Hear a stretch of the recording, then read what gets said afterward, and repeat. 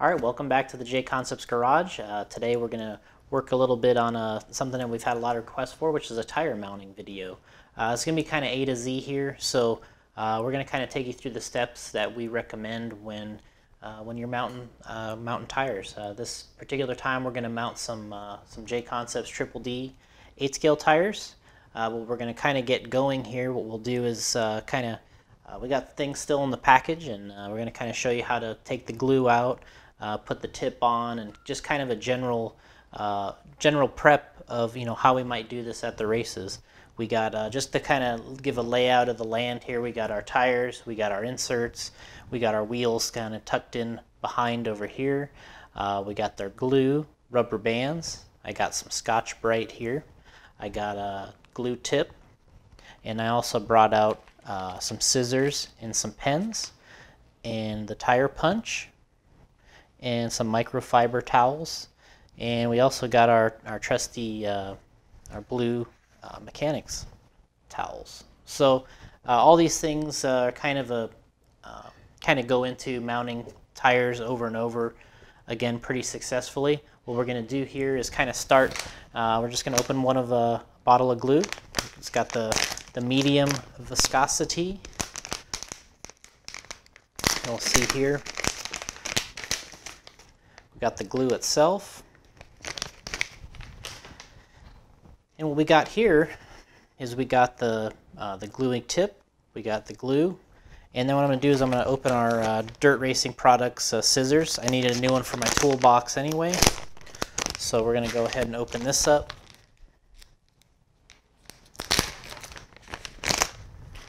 So we got our we got our scissors here. What we're going to do is open the glue bottle. And kind of one thing that's kind of nice here is you can put this tip on.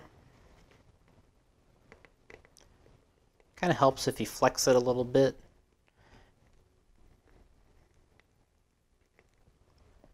Get the tip on there. Now you don't really want to use the glue with this long uh, straw on here. So that's kind of where uh, the next couple tips kind of come in into play. So what we're going to do is we're going to eventually cut this shorter. But uh, a trip, uh, little trick I saw online was to put a little heat shrink to hold these two together. So we'll take our scissors, cut a little piece of heat shrink here. You know, guys have some issues where, you know, these things kind of come apart on them. So we kind of walk this down on here a little bit.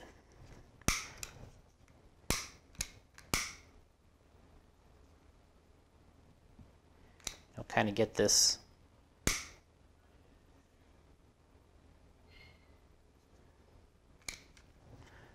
little heat shrink, get that on there.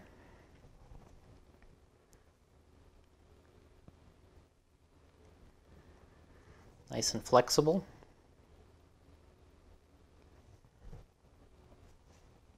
what we'll do is kind of cut this, this tip a little bit short here.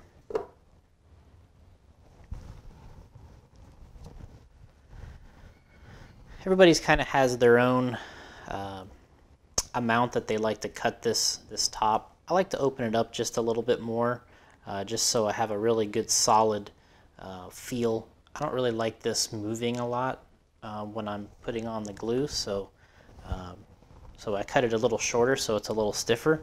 We'll get out our tires here. Now that we got our glue kind of ready to go, uh, we got our uh, tire cleaner here from Dirt. Uh, but what we're going to do is kind of prep the tire here first. So what we'll do is take our tire punch. All right, so we're going to add some holes here into the tire. Like we talked about, there's a green compound triple Ds. Uh, with this tire, um, typically we've been putting uh, four holes in this tire. So what I do is kind of pick a spot in the tread. I don't like to go right dead in the center. I like to kind of go over here to the side. So pick a spot here, remove that one. Got a nice little hole in there. We'll flip this around. You go all the way the opposite side here and we'll go in a similar location. So we got, you know, two two holes here kind of opposing each other. What I kind of do is just eyeball our next one here. So we'll get up in here. I like to go right over a pin. So you're not like squishing two pins, you're just going over one and then come back over on this side, add that fourth hole. So we got uh, we got the four the four complete holes here in the tire. Kind of switch kind of switch sides too. So you'll notice here like I have one on this side and then over here it's on this side. Um, I don't think it makes that big of a difference, but overall I think it's it's just kind of nicer to have it alternated like that. So what we'll do is I got my, my pre-cut uh, pieces of Scotch-Brite here.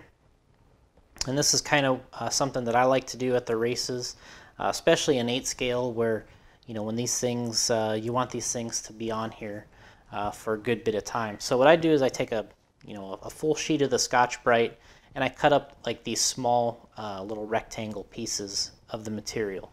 So what we'll do here with the tire is I just want to scuff the, the bead in the sidewall area. So what I'll do is just start scuffing in here all the way around.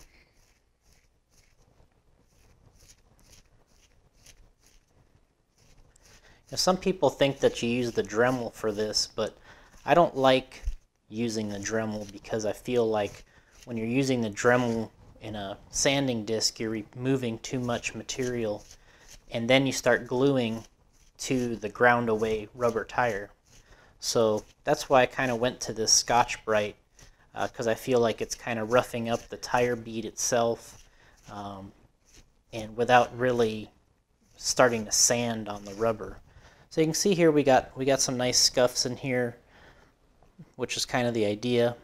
Kind of look it over in general and just uh, take a look at where we're at. You know, kind of go back over it if you feel like it. We'll do that here.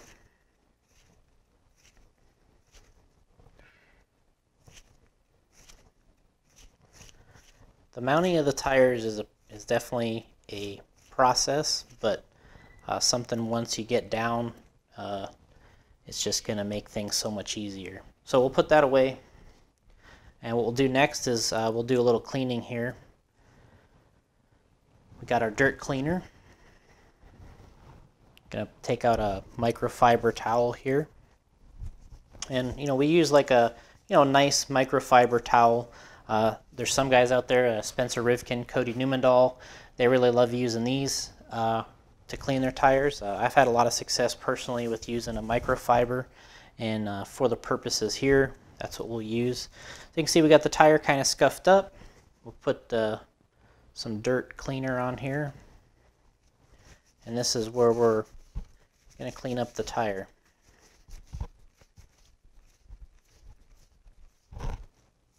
And I like to hit the sidewall as well when I'm cleaning uh, because I feel like you're going to get a little bit of glue there during the process, so why not get it clean as well.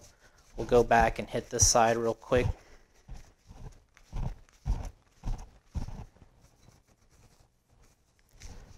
So that's kind of like version 1. Add a little more cleaner. Hit both sides again here really well.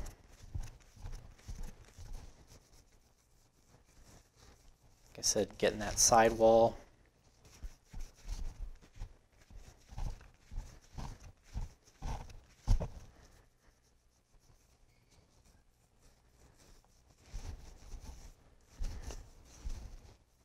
Let's see if we get that all clean. So leave that there for a second.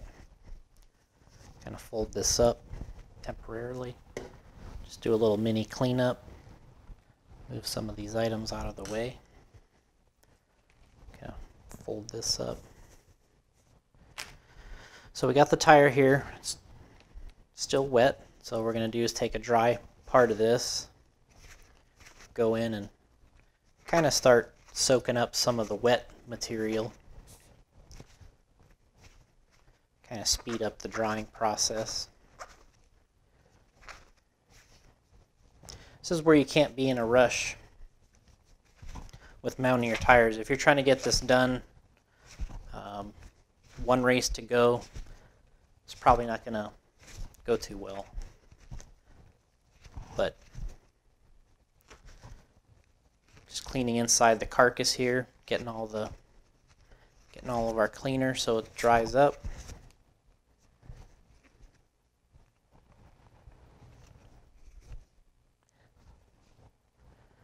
See now there's our have our cleaned tire.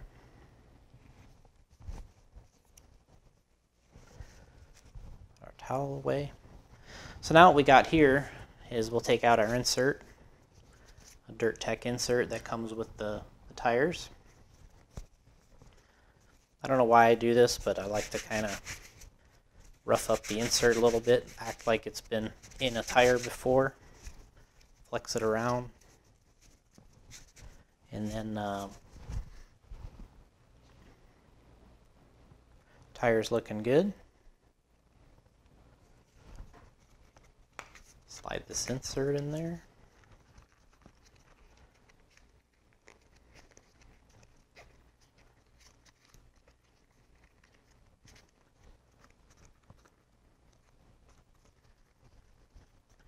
That's kind of the, once you get the insert in there, the kind of the common thing to do is you kind of walk the tire around there and uh, settles the insert into the tire. So you can see that in there nice. We got our cleaned, um, our cleaned and somewhat scuffed tire. Clean up our area a little bit. Got our wheel here. People ask me all the time if you should mount your tire with the dots for the compound on the outside or the inside, and um, I don't really have a preference. Uh, lots of times you'll see the the fast guys out there will will put that uh, on the inside, so that's what we'll do. We'll put that on the inside. Slide this on.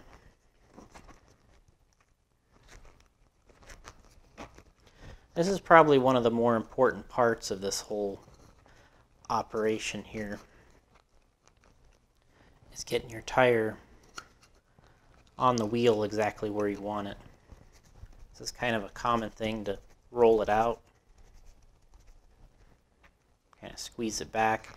What you're trying to do here is you're trying to get that tire bead exactly where you want all the way around because you're not going to have a lot of time to, to get that moved once you start applying the glue. So what I do is kind of get that to where you know once you clamp down on it with the rubber band there in the end, it's going to be right where you want it. So we're pretty close there. You can kind of see like if you applied some pressure here, we're basically exactly where you want. Of course, when you see a guy like a Maifield or somebody mount their tires in the, in the pit area, they're doing this where you can't even see uh, so fast they're doing this. You can't even see them. But this is what they're doing is they like to make sure that that tire bead is lined up against the wheel bead. So we're pretty close there. Pretty happy with that. Got the tire out got our glue out. Um, kind of the thing you want to look for when you're doing this. Lots of guys will uh, I know Ryan Cavalieri and um, Spencer Rivkin and those guys, they, they like to glue their tires, and when they do, um, they like to hold the tire against the table. Um, that's kind of their method is, is they, they hold this down and then they angle the glue down in there. For some reason, I kind of like to hold the thing like this and put the glue in there. Um, kind of depends how you, you really, um, how you kind of got brought up, I guess, racing and who you watched and you know what video you saw. But I'll do this the way I'm uh, accustomed to doing it. Uh, you kind of pull this up as far as you can. We'll get the glue in there. Kind of get down there as far as we can. We don't really want to miss a spot.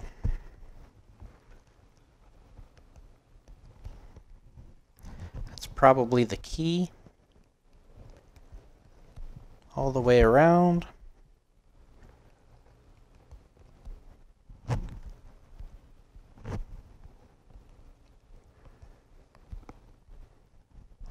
So we got a bunch of glue on there now. I see Maifield do this a lot where he likes to kind of push this in like this. Make sure, he just says he thinks it kind of, the glue kind of sets itself. So then what he likes to do is then after put the rubber band on like this. It's kind of nice about these satellite bands is you can use these little individual handles on here. Now what we'll do is take our trusty blue towels. You can see where the glue's built up here from the extra and kind of all the fast guys. This might not be the, the best looking way to glue a tire, but they will do is they just wipe this off. From a visual standpoint, you get a little on the sidewall, but this is how they like to do it because the if you leave that glue on there really thick, it takes a long time to dry and your bond isn't very good. So what you'll you'll see on these guys' cars usually is a little bit of excess onto the sidewall.